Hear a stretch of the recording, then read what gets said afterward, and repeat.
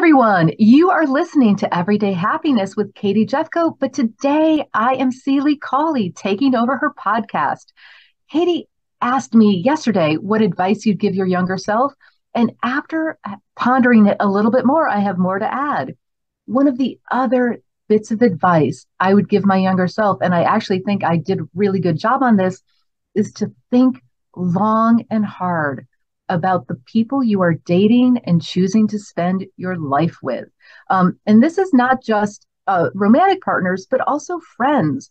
I have been so blessed that I have had literally lifelong friends that I still keep in touch with today.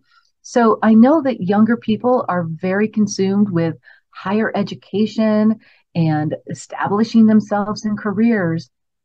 But careers change. I've had seven careers and, you know, in my lifetime, and I might have a couple more up my sleeves. Who knows?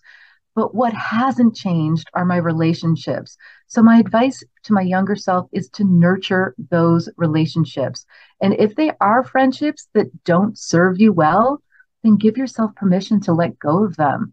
Um, really surround yourself by the people that you that lift you up uh, I've been very, very lucky that I chose very well. I'm still on my first husband, I like to say. And we've known each other over 33 years and we've been married over 30.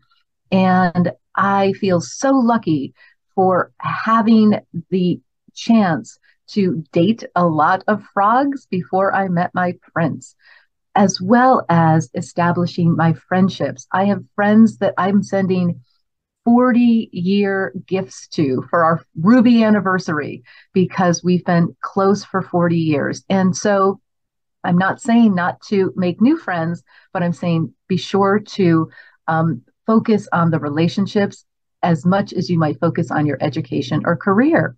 So that was my uh, second bit of advice for my younger self. And I have got one more question to share with you, and I will see you tomorrow. I hope you tune in. See you then.